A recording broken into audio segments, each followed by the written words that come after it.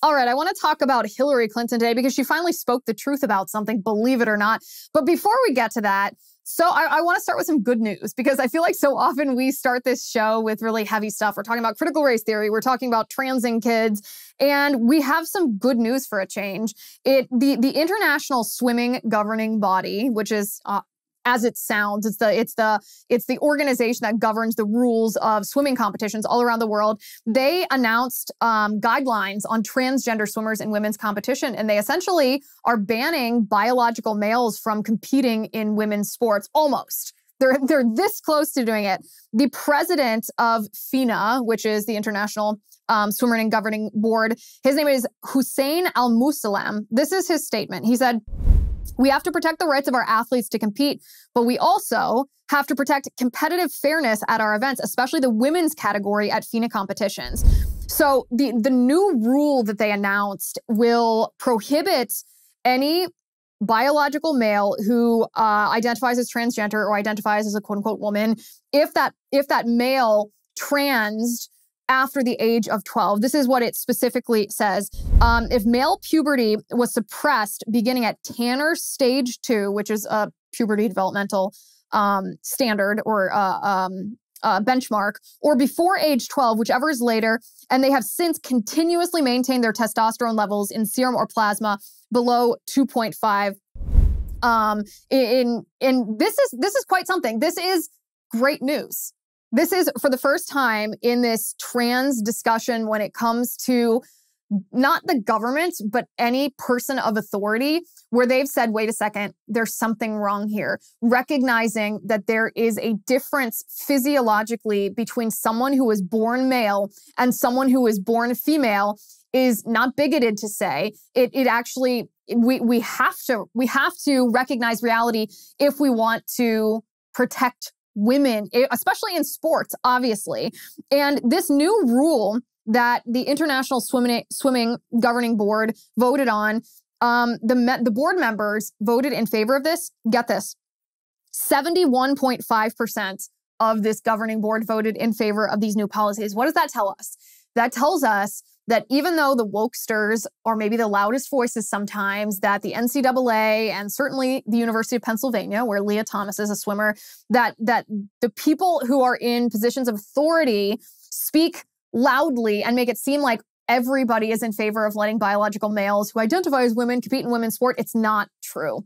It's not true. Athletes and those governing athletes, the large majority of them recognize the difference between males and females. And by the way, would this new rule prohibit Lia Thomas from competing in the women's competition? Yes, it would.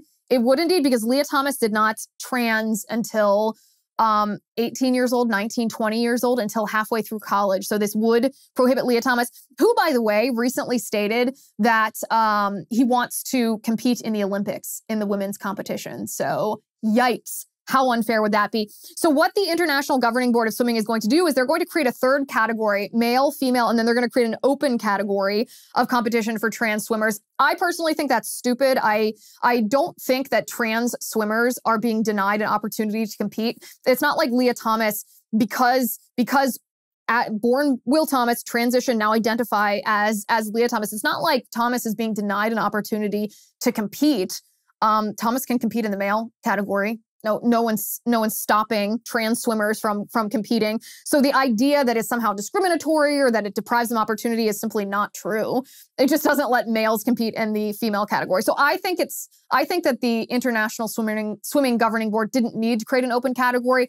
I do politically understand why they did it because it it it's a courageous move to actually say nope transgender swimmers can't compete in the women's category. So they're trying to say, hey, we will also create opportunities because we don't want to be we don't want to um, appear non-inclusive to trans but what this will actually prove and it's interesting from a cultural standpoint is that the transgender lobby or the radical left who are trans activists aren't actually looking for a solution that pleases everyone. They're not actually looking for what I would call secret option number three. Just like in the transgender bathroom, um, debates they weren't looking for oh you know maybe a, a, single stall a single a single bathroom that isn't that isn't gender specific but only allows one person in it it'll protect everybody's privacy a lot of schools were willing to do that but the transgender lobby says no no transgender biological males who identify as female, they want to be in group bathrooms with other women. The trans activist lobby is not interested in common sense solutions here.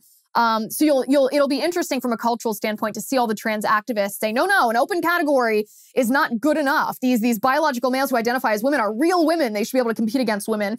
Keep an eye out for that. The other interesting thing is there's a lot of pushback from you know these these trans lobbyists these trans activists against this new rule in international swimming competitions but you will notice that in this pushback there is never any mention of science or biology um, athlete ally tweeted this FINA's new eligibility criteria for trans athletes and athletes with intersex variations is discriminatory harmful unscientific, and not in line with the 2021 IOC, that's the International Olympic Committee principles. If we truly want to protect women's sports, we must include all women.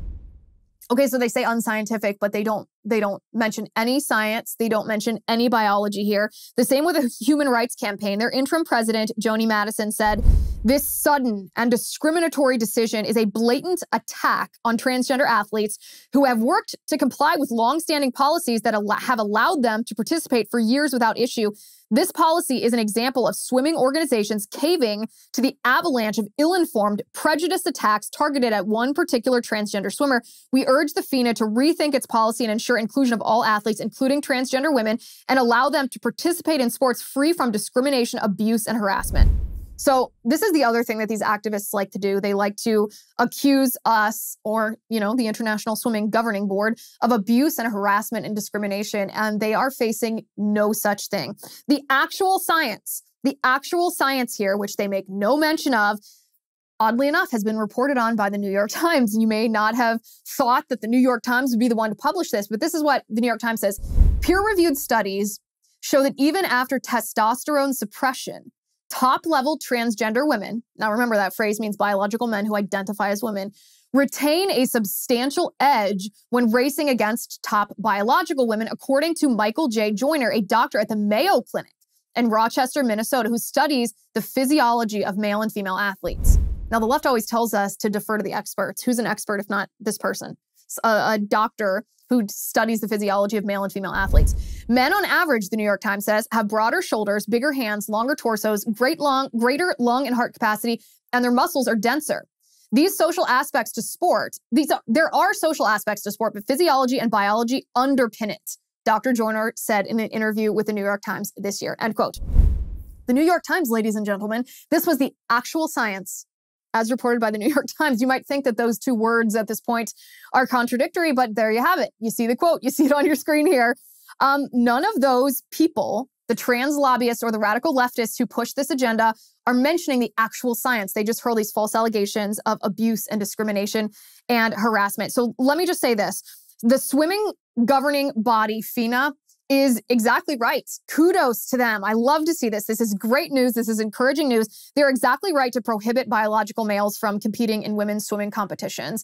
It's obviously unfair. And I mean, it's, it's absurd in the sense that we need any kind of study to show us that biological males have a um, advantage, a, phys- a physiological adva- advantage over women. Duh. Of course they do.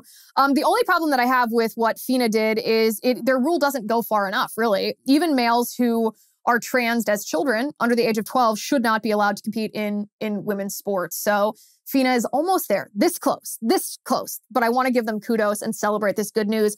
But now you might be thinking, okay, so what on earth does this have to do with Hillary Clinton? Let's dig into that. I'm Liz Wheeler. Welcome to the Liz Wheeler Show.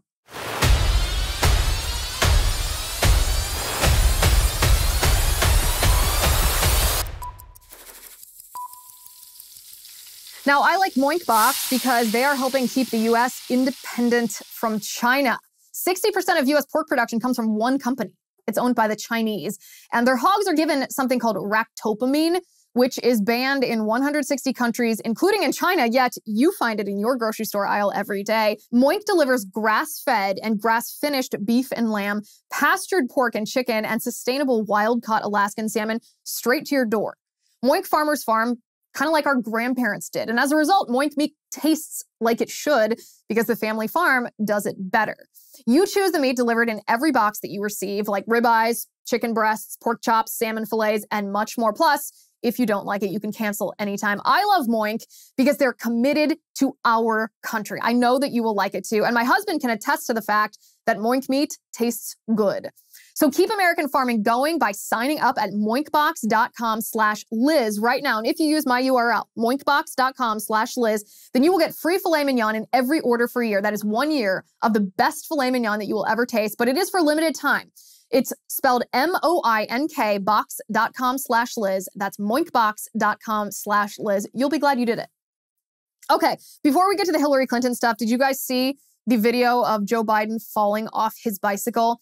When I first saw the headline about Biden falling off his bicycle this week, I thought, oh, okay, that's a bombastic headline. I bet it's I bet it's not quite as bad as they as the headlines portray because what could be better clickbait, right? Than than saying that Biden fell off his bike. Every single one of us is going to click on that and watch that video. So I did, of course. I clicked on it. I actually saw it on Twitter first, and I thought, oh, okay, well, let's let's watch and see what happens here. Let's let's let's take a look at this together.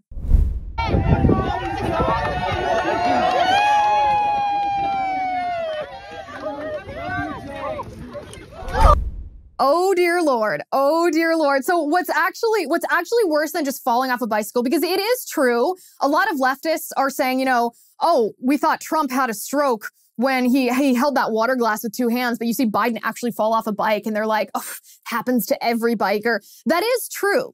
Bikers who are serious road bikers do fall off their bikes, but how many of them fall off when they're actually standing stationary? Matt, can we play that video again? Because watch what actually happens here. He doesn't fall off the bike while he's riding his bike. He is first riding his bike and then he stops or he slows down to stop to take a photo. And it's then at that point where he's he's standing up that he he wipes out, that he crashes. and I thought, oh my gosh, these these headlines, these tweets are not actually being hyperbolic. This isn't exactly true. And what a metaphor this is for our economy because we were we were uh you know, pedal to the metal, if you will, under under President Trump. And then as soon as Biden took the wheel, what did he do? He not only ground it to a halt, then smack, we all fell right on our faces. Um, also, the picture of him, the stills, um, the photographs that were taken of him when he was on the ground, this is the most ungraceful, the most horrendous photo. In fact, when I saw this photo of Biden on the ground, um, I thought, you know, those commercials on TV, those um, I've fallen and I can't get up commercial. Biden looks like an advertisement for one of those fallen and I can't get up buttons. This is the most humiliating photo of the president of the free world. Um, the memes, of course, abounded on this. But imagine, imagine like one of our adversaries, like Vladimir Putin, seeing this. Absolutely an embarrassment. You could, you could not um, compose a scenario where the president of the United States looks like he has less power and less influence. Absolute loss of respect here. Um, and yeah, really a commentary on how Biden has handled our country, which is an embarrassment for him. And that brings us to Hillary Clinton here. So Hillary Clinton did an interview with the Financial Times and uh, how do I describe this interview? It's the most fawning interview that you've heard in a long time. Obviously, this author is very pro Hillary Clinton.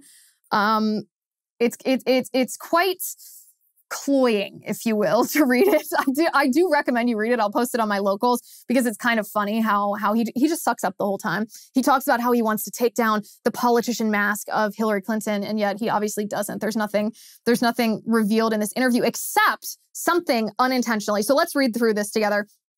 First of all, um, when his name is Edward Luce, by the way, the author or the reporter, the journalist, whatever he wants to call himself, who wrote this piece. He writes Clinton has described herself as the most investigated innocent person in America. And I thought, isn't that exactly what a crook would say? the most investigated innocent person in America. This this woman has lived a political life and gotten away with more than maybe anybody since Ted Kennedy. I cannot think of a politician who has done more wrong, committed more egregious law breaking activities, engaged in blatant corruption, and just gotten away with it than Hillary Clinton. And yet she has the audacity to describe herself as the most investigated innocent person in America. She is actually the Wicked Witch of the West. She, that literally the Wicked Witch of the West. And this is what she said about she was asked by about Roe v. Wade. This is what she said about Margaret Atwood. Now, Margaret Atwood is the author of The Handmaid's Tale, and you know how the left is sending all those radical leftist abortion groupies into Catholic churches dressed like The Handmaid's Tale. This dystopian novel. It was written by Margaret Atwood that um, poses this idea, or, or, the premise, I should say, of the book is that, um, well, she portrays it as Republicans, Christians, if you will, have forced women, subjugated women, and forced them just to bear children um, essentially sex slaves. This is what this is what um, Hillary Clinton said about it. She was asked by the uh, by Edward Luce. She said he he said, "What is the Christian rights endgame?" I asked. Presumably, they would not be able to create the theological dystopia depicted in Margaret Atwood's 1985 novel, The Handmaid's Tale. My question, he says, triggers a passionate response from Hillary Clinton. Quote, the level of insidious rulemaking to further oppress women almost knows no end, Clinton says. You look at this, and how could you not but think that Margaret Atwood was a prophet? She's not just a brilliant writer, she was a prophet. Oh, oh, I cringe even hearing her words in, in written form. This woman is so disgusting. This is why not just Republicans, but the left rejected her in 2016 too. She was asked whether she would run again in 2024, and this is what she said no. Hillary said, out of the question. First of all, I expect Biden to run. He certainly intends to run. It would be very disruptive to challenge that. And then she gives no second of all. She just gives the first of all. She does, however, say that in this in this interview that she thinks Trump will want to run again. She says, quote, I think if he can, he's going to run again. Follow the money with Trump. He's raised about 130 million sitting in his bank account that he used to travel around to fund organizing against elections. I don't know who will challenge him in the Republican primary.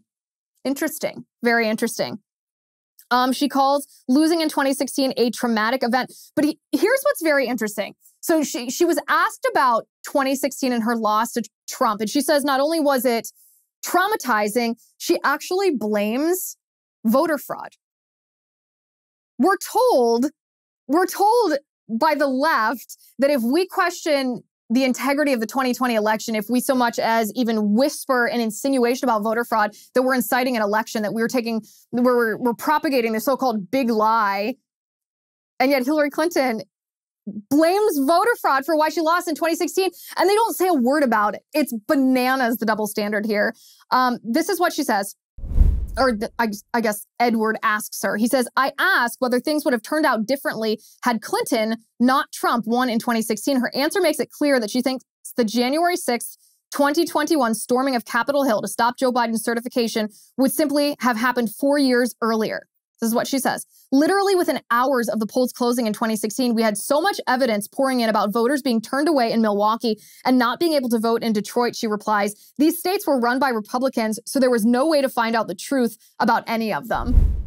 I read this and I was like, are you kidding? This is actually the flip side. If you just if you just replace Trump saying Democrats and leftists in blue states with Hillary saying Republicans in red states, it's the same thing. Allegations of voter fraud. And Hillary has absolutely no evidence for this. And yet it's okay with the left. It's okay with the mainstream media. Adam Schiff, oh my goodness, he certainly doesn't care about this. He certainly would never accuse Hillary Clinton of inciting an insurrection here. Hillary Clinton also blames Russia. Of course she does. She blames Vladimir Putin. Now, I like Bambee, and I think you will too, because small business owners, have you ever had an issue with employee attendance? Have you ever had an employee altercation in the workplace, maybe? Have you ever been confused on how to handle a situation with an employee? Or have you ever had employee performance issues? Well, the bad news here is that one complaint against your company can turn your world upside down. The good news is Bambee is here to help small business owners implement good HR practices. Bambee is an HR platform built for businesses just like yours. So you can automate the most important HR practices and get your own dedicated HR manager. First, Bambee's HR autopilot automates your core policies. I'm talking workplace training and employee feedback. Then your dedicated HR manager will help you navigate the more complex parts of HR and guide you to compliance. Now, these dedicated HR managers are available by phone, by email, or by real time chat if you need them. An in house HR manager like this can cost up to $80,000 a year. But with Bambee, your dedicated HR manager starts at just $99 a month. No hidden fees. You can cancel anytime. You run your business. Let Bambee run your HR. Go to Bambee.com slash Liz right now for your free HR audit. You have to use my URL. It's spelled B-A-M B-E-E.com slash Liz. Bambee.com slash Liz. Okay, so of course Hillary Clinton also blames Russia. So voter fraud and Russia are who we're supposed to believe um, impacted the outcome of the 2016 election. But again, Hillary's allowed to, to delegitimize an election. But if a Republican whispers about round the clock drop boxes or universal mail-in voting or, or vote harvesting, ballot harvesting, or you know sig- degradation of signature verification. My goodness, we have to be silenced on big tech. Not Hillary Clinton. Um, Luce writes, it seems like a good moment to ask Clinton about Russia's leader, whom she once quipped had no soul. Though Clinton talks about today's situation in Ukraine, she keeps referring back to Putin's role in the 2016 election, which she believes was in revenge for a statement she had made as Secretary of State in 2012 in support of the pro democracy protests against his return to Russia's presidency. Oh, so she brings everything back to why she thinks it wasn't her fault for not campaigning properly and for being a terrible person that turned off her voters. This is what this is this is the, the one element of truth. And this is actually what got me. This is why we're talking about this interview. This is why it's a worthwhile interview, even though it's kind of and kind of disgusting, not that informative. This comment. Luce writes, I cannot allow the lunch, she's interviewing over lunch, to end without questioning the direction of her party. I say the Democrats seem to be going out of their way to lose elections by elevating activist causes, notably the transgender debate, which are relevant only to a small minority. What sense does it make to depict J.K. Rowling as a fascist? To my surprise, he writes, Clinton shares the premise of my question. Quote, We're standing on the precipice of losing our democracy, and everything that everybody else cares about then goes out the window, she says. Look, the most important thing is to win the next election. The alternative is so frightening that whatever does not help you win should not be a priority. My goodness. My goodness. She actually agrees with the premise that the transgender debate that the Democrats are so obsessed with right now, this this cause, this this transing of Americans' children, um, she doesn't think that they should be prioritizing this. This is actually, accidentally or not, whether her reasons are the correct reasons or whether they're for a different motive here, she's actually correct. I mean, this this is this is the go woke, go broke premise. We we saw this just this past week when the uh when the Toy Story movie came out, Lightyear. That Tim Allen, because he's conservative, was fired from. He was replaced with this radical leftist, Chris Evans, and it includes a lesbian kiss that was originally not going to be aired, but then when Disney got into into beef with DeSantis in Florida about their queer agenda that they were they admitted they were inserting into children's programming. Disney decided to put this lesbian kiss back in. This is obviously a turnoff to a lot of consumers, maybe half the country, maybe more, who are who were at least consumers of, of, of Disney programming and this, this idea that if you go woke, you go broke. If you're not selling things that your consumers want, if you're selling your ideology, you're forcing your ideology on people, that it's not good for business. And that's accurate in this case. In the first three days of Lightyear opening at the box office, it grossed $51 million. It was 20 million on Friday, 16 million on Saturday, and 14 million on Sunday. And what's really interesting here is there was a headline from Deadline that said excuse my French here, but what the hell happened here? And they make in, in this article where they're exploring why exactly this this Toy Story movie bombed at the box office, they they make the suggestion that well maybe it was just too soon. Toy Story 4 came out 3 years ago. It had an enormous enormous first weekend. We're talking 121 million dollars in the first weekend and Deadline suggested that well maybe 3 years is too soon. This obviously common sense makes no sense because these these these movies that build on each other oftentimes they have a new movie that comes out every year and they do just fine. So this is this is a bizarre idea. The truth of the matter is and what they didn't mention and don't want to mention is that a lot of people were turned off by the idea of a lesbian kiss in a children's movie by queer agenda being inserted into this toy story movie. And then also by the fact that chris evans this new star that replaced everyone's favorite tim allen chris evans said that anyone who um, was not comfortable with the lesbian kiss. This is what he said. The real truth is, those people, people uncomfortable with that, are idiots. He then called them dinosaurs who will eventually die off. Imagine, imagine being in a position like Chris Evans, where it's your job to sell your movie to um, to the American people, and instead of saying, "Hey, here's a movie I made. It's really cool. It's really artistic. It's a fun story. It's great for children. Come and see it. Come and come and give us your money so that you can be entertained." He looks at you and says, "Come and buy my movie, you idiot bigoted dinosaur. Like, okay, who is that gonna who is that gonna work with? That is not a sales tactic that one would think would actually work. He goes on to say, this is what Evans says. It's tough to not be a little frustrated that it even has to be a topic of discussion. He says that it is this kind of news. The goal is that we can get to a point where it's the norm and that this doesn't have to be some uncharted waters, that eventually this is just the way it is. So he admits that the reason that they put it in there is because they want it to be universally accepted. And if you don't, remember, you're a dinosaur, you're a bigot, you will die off, you're you're an idiot. Uh, but but please give Chris Evans and Disney your money. Um, Hillary Clinton might have accidentally found this little truth: go woke, go broke. This is not a topic, a political topic or cultural topic that it's going to win that's going to win voters. What actually matters to voters is inflation. What matters to voters is the fact that the US economy has not grown this quarter. We might be in a recession. We'll know if we're in a recession in, ju- in just a month or so. Um, if there is negative growth, if there is, you know, if it contracts one more month, if it, or one more quarter, I should say, two quarters of um, a loss of growth means that there is a recession. And this is what voters care about inflation and the possibility or the threat of a recession. And yet, the left, when they address this, ignore the reality of what we, the people, are facing here. And Janet Yellen is a perfect example of this. She says the recession is not inevitable, but not for the reasons that not for the reasons that you might think, not because well Biden could do something about this and change this. Um, it's not inevitable, and you will be fine, she says, completely ignoring the reality for most of us. Madam Secretary, thanks for joining us this morning. You know, the Wall Street Journal reported this morning that 44% of economists expect a recession in the next year. Is that what you expect as well? Well, I expect the economy to slow.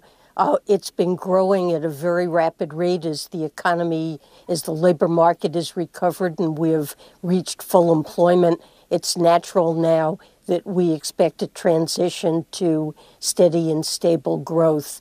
But I don't think a recession is at all, at all inevitable. Um, Chair Powell, uh, clearly inflation is unacceptably high. It's President Biden's top priority to bring it down. And Chair Powell has said that his goal is to bring inflation down while maintaining a strong labor market.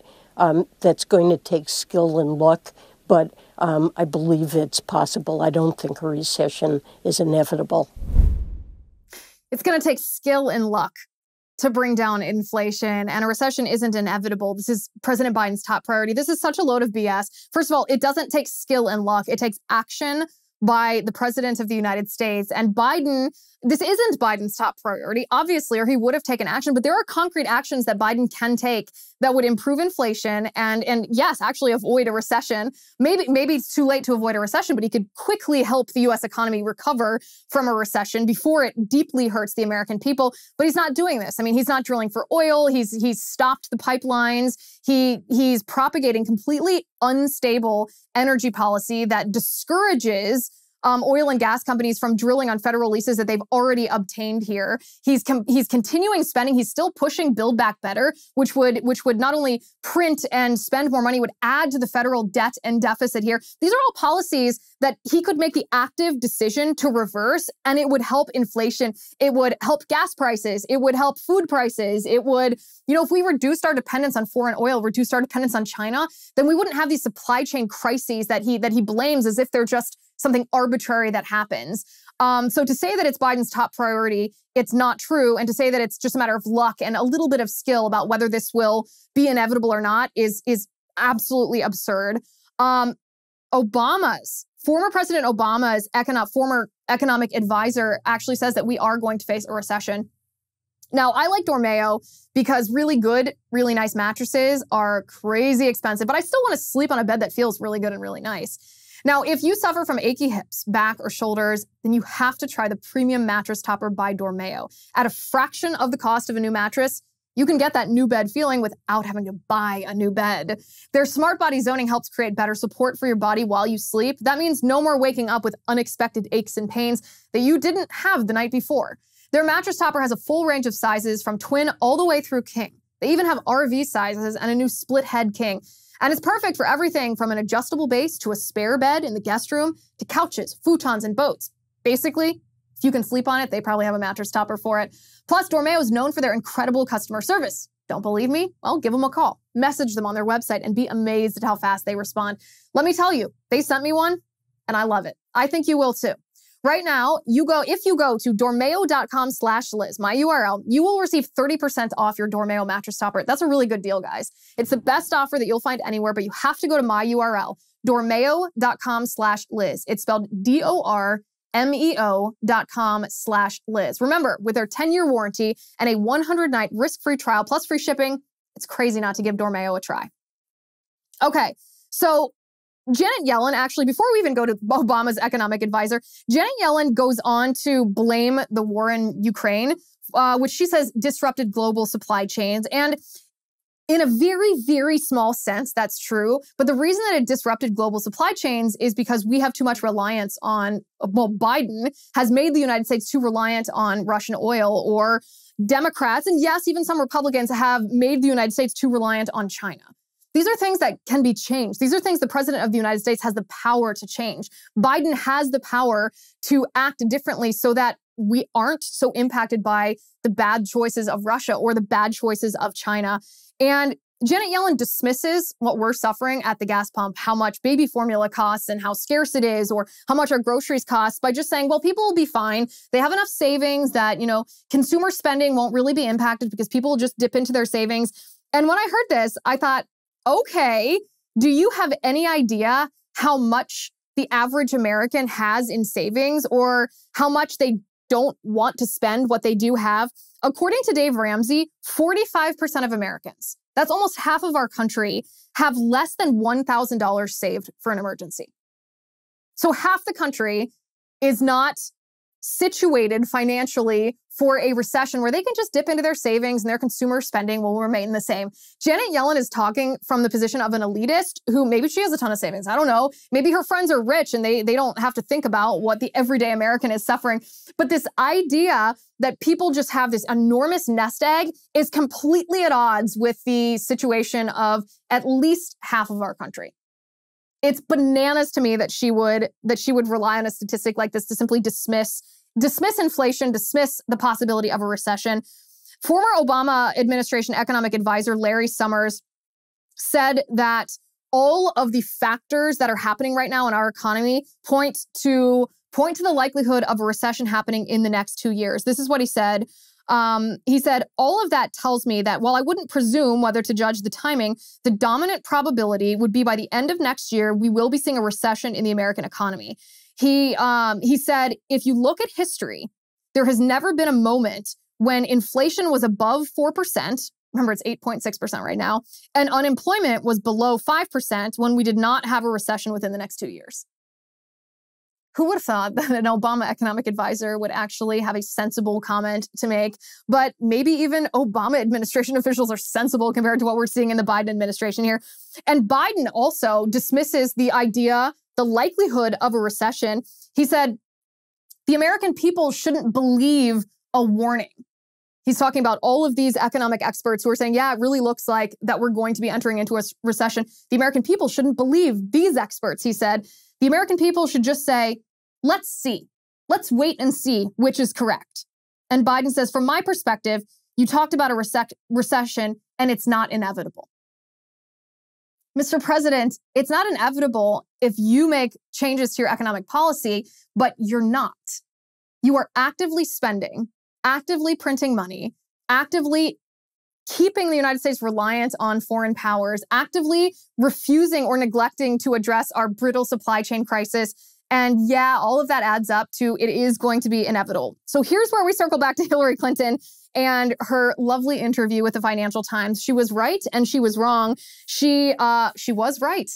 Accidental or not, she was right that the American people and voters specifically, voters specifically don't care about the left's push uh, the, this this transgender push. The old, really the people that care about it are the people who oppose it. But this is not an issue that's going to bring Democratic voters to the polls. And a lot of Democrats, especially parents in, with kids in school, are turned off by this this this this forcible this force feeding of the transgender ideology to our kids and our families through our corporations in sports. So Hillary Clinton, I literally never thought I'd say the words Hillary Clinton was right.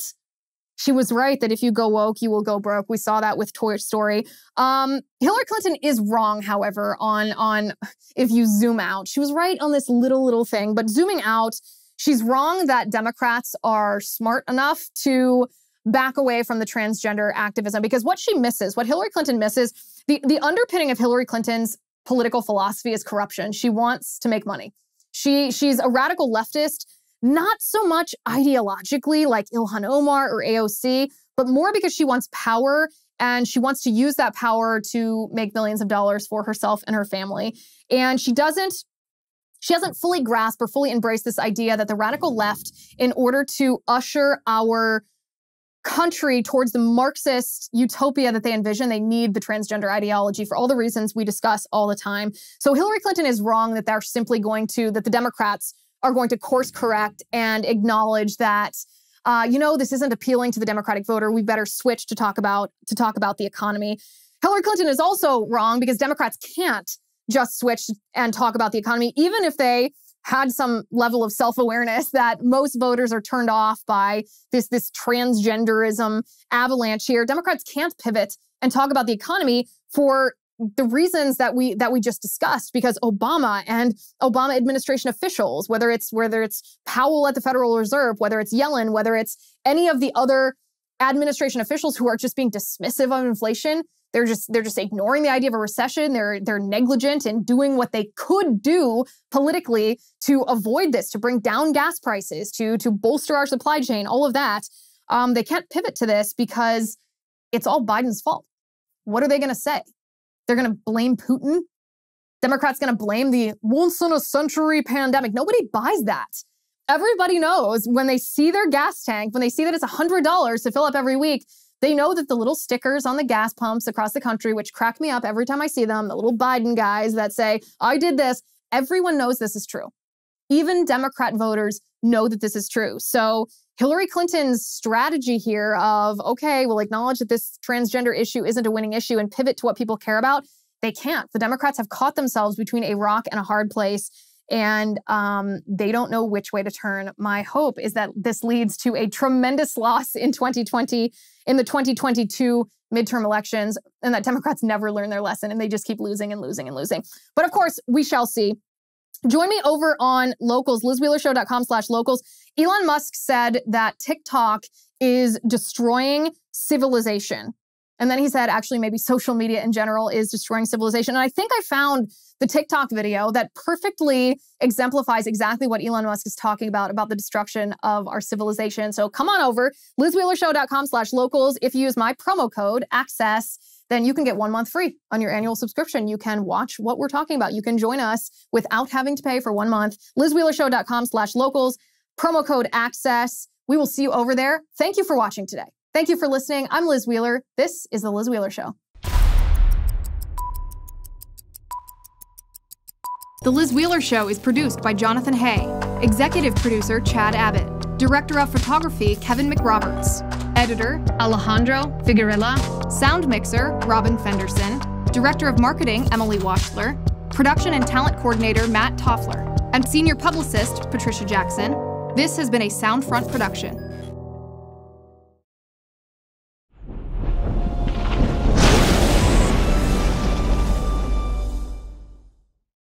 If you haven't already, give this video a thumbs up, hit the subscribe button below, and ring the bell to make sure you never miss a video.